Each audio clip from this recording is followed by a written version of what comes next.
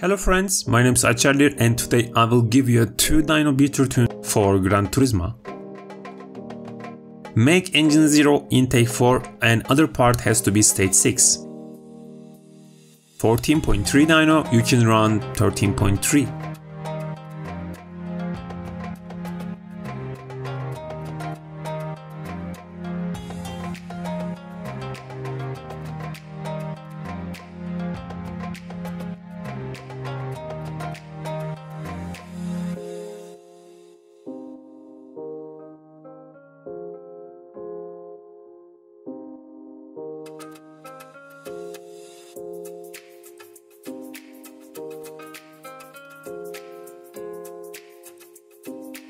Second tune I'm going to give you need a maxed car. Everything is same as the maxed car except final drive must be 3.37 instead of 3.38. With this tune you can get rid of maxed lobbies for Gran Turismo. You can race in 12.1 lobbies with running 12.0 which is a good too. But this car has so much needle drop, so you just have to be careful with your perfect start. You may want to do some practice because it's kinda tricky. And if you get needle drop, your run will be 12.2, which will be bad.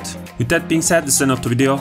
If you have any question, please don't hesitate to ask. I will try my best to answer all of them. If you like this video and want more videos like this, give this video a like and I'll see you guys in the next one. Take care and never stop the racing.